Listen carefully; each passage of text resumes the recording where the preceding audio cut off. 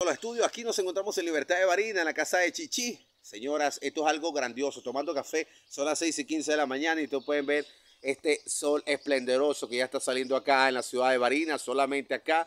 Acá esto es la casa de Chichi.